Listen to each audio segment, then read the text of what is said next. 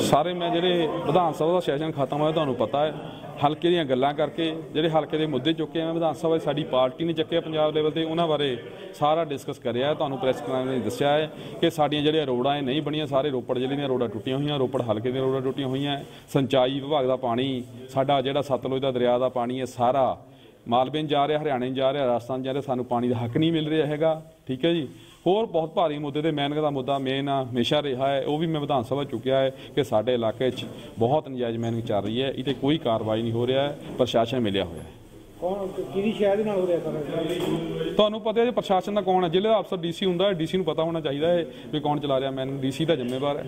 DC ਨੂੰ ਕੋਈ complaint ਕੀਤੀ ਕੋਈ? ਸਾਰੀਆਂ ਕੰਪਲੇਂਟਾਂ ਜੀ। ਮੁੱਖ ਮੰਤਰੀ ਤੱਕ ਵੀ ਚੀਫ ਸੈਕਟਰੀ ਨੂੰ ਵੀ ਪ੍ਰਿੰਸੀਪਲ ਸੈਕਟਰੀ ਨੂੰ ਵੀ ਡੀਸੀ ਸਾਹਿਬ ਨੂੰ ਸਾਰੀਆਂ ਕੰਪਲੇਂਟਾਂ ਕੀਤੀਆਂ ਹੋਈਆਂ ਜੀ। ਵਿੱਚ ਮਾਈਨਿੰਗ ਵਾਲਾ ਜਿਹੜਾ ਫੜਿਆ ਸੀਗਾ ਮਾਈਨਿੰਗ ਅਫਸਰ ਵੱਲੋਂ ਕੀ ਮੁੱਦਾ ਸੀ ਕੀ? ਉਹ ਮੈਨਗ ਅਫਸਰ ਨੇ ਜਾ ਕੇ ਤਿੰਨ ਕਰੈਸ਼ਨਾਂ ਦੇ ਮਾਲ ਫੜ ਲਿਆ ਪਰ ਉਹਦੇ ਕੋਈ ਵੀ ਕਾਰਵਾਈ ਨਹੀਂ ਕੀਤੀ ਗਈ। ਕਿਹਨੂੰ ਕਿਹਾ ਸੀ ਕਾਰਵਾਈ ਵਾਸਤੇ? ਮੈਂ ਮੈਨਗ ਅਫਸਰ ਨੂੰ ਕਿਹਾ ਤਾਂ ਉਹਨਾਂ ਨੇ ਡੀਸੀ ਸਾਹਿਬ ਨੂੰ ਤੇ ਐਸਐਸਪੀ ਸਾਹਿਬ ਨੂੰ ਬਾਈ ਡਾਕ ਵੀ ਪੋਸਟ ਭੇਜੀ ਹੈ ਪਰ ਉਹਨੇ ਕੋਈ ਕਾਰਵਾਈ ਨਹੀਂ ਕਰੀ। ਕੀ ਲੱਗਦਾ ਕਿਉਂ ਕਾਰਵਾਈ ਨਹੀਂ ਕੀਤੀ ਜਾ ਰਹੀ? ਸਰ ਮਿਲੇ ਹੋਣੇ ਨਾਲ ਪੈਸੇ ਪੂਸੇ ਲੈਂਦੇ ਹੋਣੇ ਹੋਰ ਕੀ ਹੋ ਸਕਦਾ ਕੁਝ ਪਤਾ ਨਹੀਂ ਰੱਬ ਜਾਣਦਾ ਉਹਨਾਂ ਨੂੰ ਪਤਾ ਵੀ ਕੀ ਚੀਜ਼ ਤੇ ਕਰਦੇ।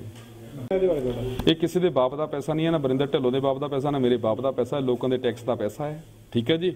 ਉਹ ਸਰਕਾਰ ਹਰ ਫਰੰਟ ਤੇ ਲੋਕਾਂ ਨੂੰ ਪੈਸਾ ਮਿਲਣਾ ਹੁੰਦਾ ਹੈ। ਲੋਕਾਂ ਦਾ ਪੈਸਾ ਹੈ ਲੋਕਾਂ ਵਿੱਚ ਲੱਗਣਾ ਪੈਸਾ ਹੈ। ਕੋਈ ਕਿਸੇ ਨੂੰ ਆਪਣੀ ਜੇਬ 'ਚੋਂ ਪੈਸਾ ਨਹੀਂ ਦੇ ਰਿਹਾ ਜਾਂ ਤਾਂ ਬਰਿੰਦਰ ਢਿੱਲੋਂ ਆਪਣੀ ਜ਼ਮੀਨ ਵੇਚ ਕੇ ਪੈਸੇ ਦੇਵਾ ਲੋਕਾਂ ਨੂੰ। ਜਾਂ ਕੋਈ ਹੋਰ ਦੇਵਾ ਜਾਂ ਮੈਂ ਦੇਵਾਂ ਜਾਂ ਕੈਪਟਨ ਦੇਵਾ। ਲੋਕਾਂ ਦੇ ਟੈਕਸ ਦੇ ਪੈਸੇ ਨਾਲ ਸਰਕਾਰਾਂ ਚੱਲਦੀਆਂ ਸਾਨੂੰ। ਤਨਖਾਹ ਲੋਕਾਂ ਦੇ ਟੈਕਸ ਦੇ ਪੈਸੇ ਨਾਲ ਮਿਲਦੀਆਂ ਹੈ। ਟੈਕਸ ਦੇ ਪੈਸੇ ਨਾਲ ਹੀ ਵਿਕਾਸ ਹੋਣਾ ਕੀ ਲੱਗਦਾ ਸੰਵਿਧਾਨ ਅਨੁਸਾਰ ਇਹ ਸਹੀ ਹੋ ਰਿਹਾ ਜਿਹੜਾ? ਬਿਲਕੁਲ ਕਾਨੂੰਨ ਮਿਲਣਾ ਤਾਂ ਸਾਡੇ ਡੀ ਸਾਹਿਬ ਸੰਵਿਧਾਨ ਤੇ ਅਣਜਾਣ ਹੈ। ਜਾਂ ਇਹਨਾਂ ਨੇ ਜਦੋਂ ਅਫਸਰ ਲੱਗਿਆ ਸੰਵਿਧਾਨ ਦੀ ਸਹੁੰ ਨਹੀਂ ਚੁੱਕੀ ਹੈਗੀ ਹੈ, ਜਿਹੜੀ ਇਹ ਚਮਚਾਗਿਰੀ ਕਰ ਰਹੇ ਇਸ ਟਾਈਮ ਪੂਰਾ ਚਮਚਾ ਪਾਣੀ ਫੇਰ ਰਹੇ ਆ। ਕਿਉਂ ਕਰ ਰਹੇ ਇਹਨਾਂ ਨੂੰ ਪਤਾ ਹੋਣਾ ਡੀ ਸਾਹਿਬ। ਨੂੰ